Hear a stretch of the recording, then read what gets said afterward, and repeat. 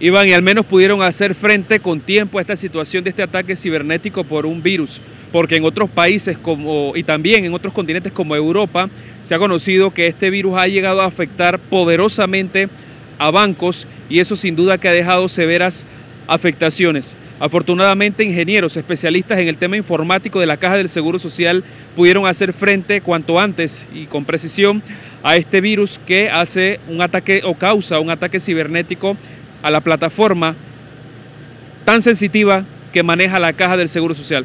Vamos a escuchar declaraciones de los expertos en informática del Seguro Social de cómo lograron hacer frente a esta situación y más que todo quienes están detrás de esta actividad ilícita solicitan incluso dinero para devolver archivos que logran hurtar a través de estos sistemas tecnológicos. Escuchemos.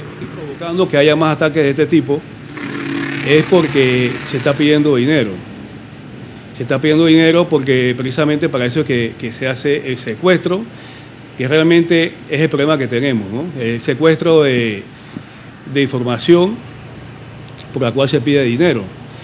Incluso eh, al principio se pedía dólares, eh, o sea, había que hacer un pago en dólares, ahora se está pidiendo bitcoins. Como es complicado el manejo de bitcoin, casi nadie, muy poca persona eh, aquí en Panamá, por ejemplo, manejan bitcoins. Entonces, el atacante incluso te, manda, te, dice que vayas a un sitio y en ese sitio hay una, una especie de mesa de ayuda donde si tú no sabes cómo, cómo comprar bitcoin, bitcoins, perdón, te indica eh, dónde debes ir, cómo debes hacer para que efectúes el pago.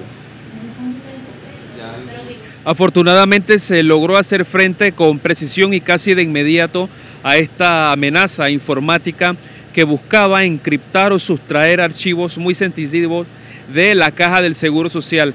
Y se conoció que sí afectó a algunos ordenadores, pero se logró cerrar ese círculo o ese impacto, aunque los especialistas se han dado a conocer que es capaz de mutar o de cambiar y a través de eso eh, es que sustrae archivos Imagínese usted toda la información que se maneja en el Seguro Social, tan sensitiva de empresas, eh, todo lo que se maneja también de licitación de medicamentos, de servicios hospitalarios y de servicios administrativos, sobre todo del personal. Información a esta hora. Vamos con usted. Adelante.